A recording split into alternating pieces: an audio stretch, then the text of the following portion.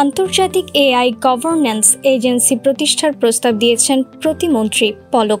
ডাক, টেলিযোগাযোগ ও তথ্য প্রযুক্তি প্রতিমন্ত্রী Junaid Ahmed Palak international telecommunication union ITU ও এর সকল সদস্য রাষ্ট্র এবং অংশীদারদের কাছে একটি অত্যন্ত শক্তিশালী আন্তর্জাতিক artificial intelligence AI governments agency প্রতিষ্ঠার প্রস্তাব দিয়েছেন।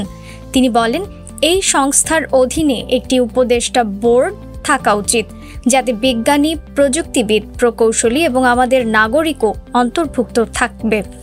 আমাদের আরও উচিত একাডেমিয়ায় এআই শিক্ষা চালু করা।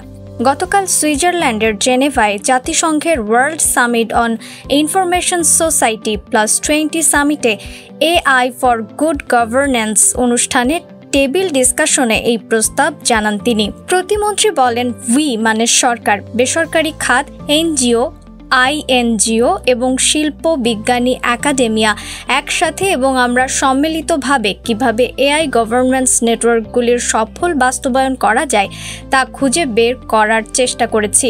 এছাড়া আমরা জাতিসংঘ এবং বিভিন্ন দেশ থেকে এআই, আইন, নির্দেশিকা, নীতি প্রবর্তনের সুযোগ তৈরি করতে চাই। সরকার, শিল্প এবং সমাজ একসাথে কাজ করার মাধ্যমে আমরা এআই এর সম্ভাব্য হুমকির বিরুদ্ধে নিজেদের নিরাপদ করার পাশাপাশি বৃহত্তর স্বার্থে কল্যাণকর কাজের জন্য এর শক্তিকে কাজে লাগাতে পারি। তিনি আরও বলেন, বাংলাদেশ একটি উন্নয়নশীল দেশ যার উচ্চাকাঙ্ক্ষা ও প্রত্যাশা রয়েছে। এআই নিয়ে।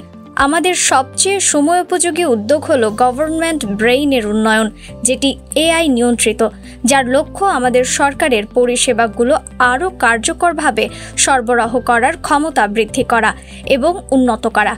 আমরা এআই এর অগ্রগতি গ্রহণ করার সাথে সাথে এর অপব্যবহার থেকে রক্ষা করার জন্য আমাদের অবশ্যই শক্তিশালী প্রতিরোধ ব্যবস্থা গড়ে তুলতে হবে।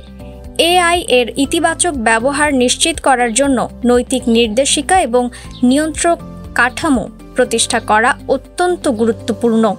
News desk Rifat Ara Islam, Bhorer Akash.